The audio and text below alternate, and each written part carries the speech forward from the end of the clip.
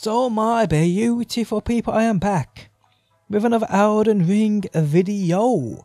And today guys, I bring you a brand new rune farm where you can throw yourself off the map and hundreds of thousands of runes and it takes literally no effort at all.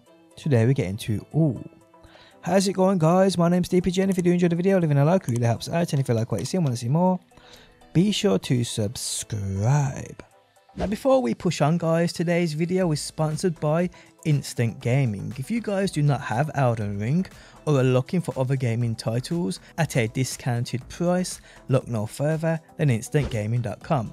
Instant Gaming offers you all of the best gaming titles on every platform at a reduced cost. It's as simple as searching for your desired game choice, selecting the platform and hitting that buy button. You are then given that digital code to use on your platform. But wait, it gets better. Check out Instant Gaming via my link to be entered automatically into winning the game of your choice. It's that simple. Again, check out Instant Gaming via the link pinned at the top of the comments section and also at the top of the video description for all your gaming needs and gaming giveaways. Okay, so this takes place in the legendary Mohgwyn Dynasty area, the oh so beautiful spot where you can farm those runes well, all over the place really. The hills obviously the best. The bird's decent as well, but this is definitely faster than the bird. So if you're here farming the bird, do this, you'll earn more runes. Uh, but if you can farm the hill, if you can farm these ads on the hill, there's no point in trying doing this at all.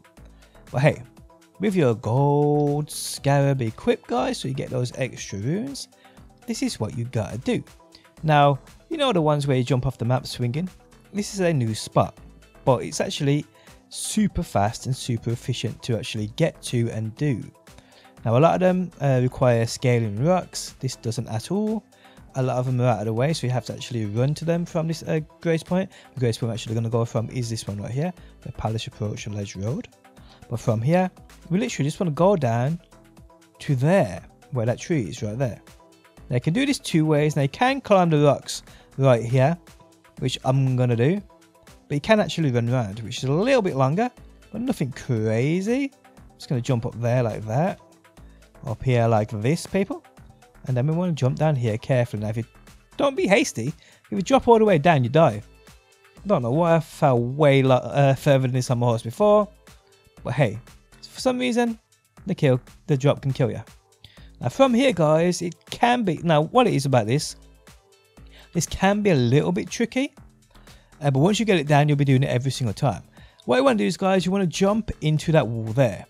Just one jump, simple, right into the wall in front of us. So you headbutt it. As you fall, you'll turn left and you want to double jump into a gap in the map.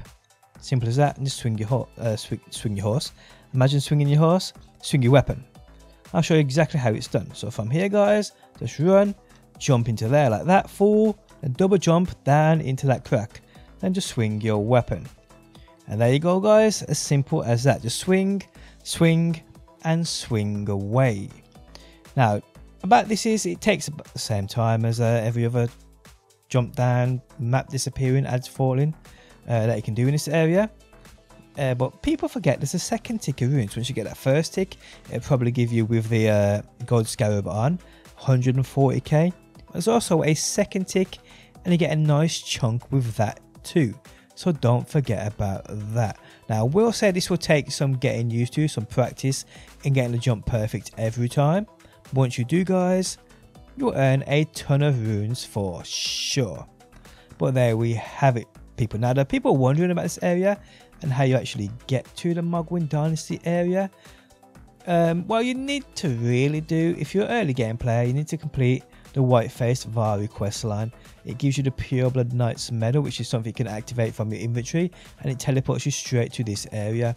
Now, I'll put a guide in the video description. It's actually a massive guide on leveling up this and the other, and that's your quest line is a part of that guide. But I'll link that down below, people. There's also another way, but you need to get to the mountain tops of the giants. It requires you to get their Haligtree Tree Medallion. You have to complete, beat loads of bosses and use a teleporter. Um, but hey, you should be able to get down here, guys. It's not too hard.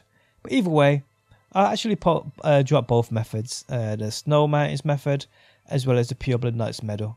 But hey, you'll find them linked down below, guys. But there we have it, another rune farming video. And I hope you enjoyed it. If you did, leaving a like really helps out. If you like what you see, want to see more Ring, be sure to subscribe. And hopefully my video, Tifo people, I will see you on that next one.